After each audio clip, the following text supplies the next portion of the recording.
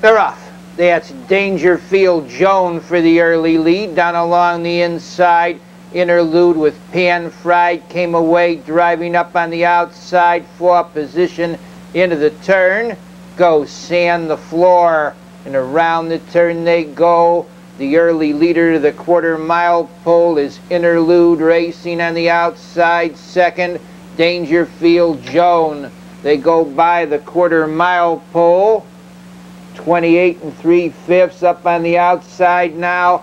Make that pan fried to get the lead. Here comes Dangerfield Joan. And Dangerfield Joan takes the lead. Pan fried is second.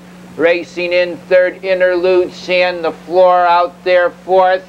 Racing in fifth to the half mile marker comes BJ's mate and Sand the floor drives. Now everybody drives.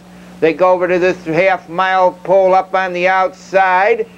That's interlude to challenge and get the lead. It's interlude on the outside taking the lead. Dangerfield Joan is second. Sand the floor racing third, racing in fourth position to the three quarter mile pole.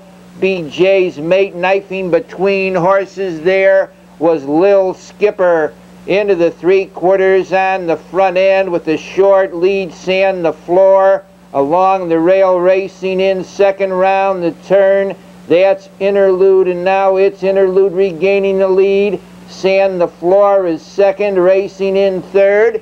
Dangerfield joan they turn for home on the front end. That's sand the floor taking the lead and the outside closing ground second through the stretch comes BJ's mate down along the rail.